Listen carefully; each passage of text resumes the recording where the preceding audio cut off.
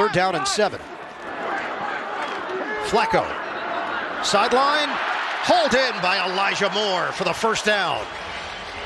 And how about Joe Flacco? Because he sees the pressure, but he realizes who was going to come at him and who was going to bail. And he read it perfectly that he was going to get the pressure from the edges, not up the middle.